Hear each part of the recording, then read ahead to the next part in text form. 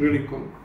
varenih događaja i varnih situacija, govorim o onom mirnodopskom delu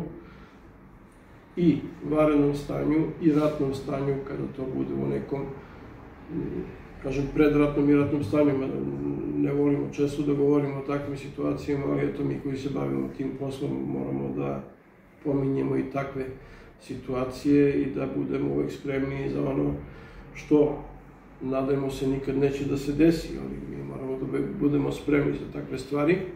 Dakle, oni mogu da budu angažovani prilikom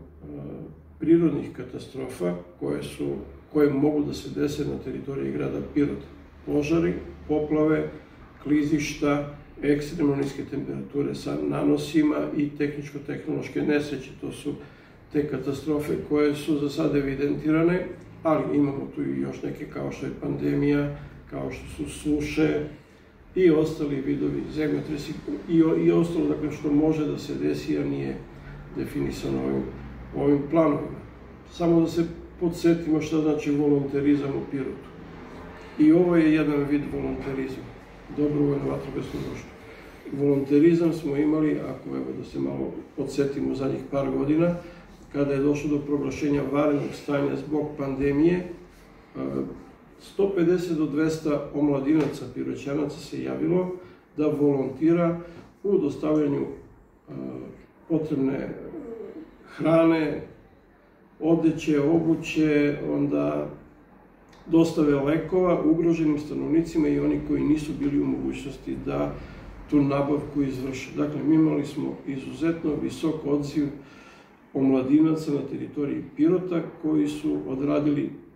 dobar deo poslova u snabdevanju stanovništva, kao i nakon toga kada je vršena vakcinacija, gde su takođe mladi ljudi se odazvali i učestvovali u logistici, odnosno u samoj realizaciji vakcinacije, pozivanjem ljudi, e, onda učestvovanje na, u organizaciji samih mesta za vakcinaciju i tako dalje. Tako da i evo sad navodimo kao još jedan primer kako mladi ljudi mogu da se angažuju svojom dobrom voljom da pomognu građanima Pirota time što će dobrovoljno učestvovati u tim jedinicama, dobrovoljnim vatrogasnim jedinicama, a ujedno one će predstavljati za štab civilnu zaštitu i na taj način svojim dobrovoljstvom doprineti ukupnoj bezbednosti građana Pirota i imovine.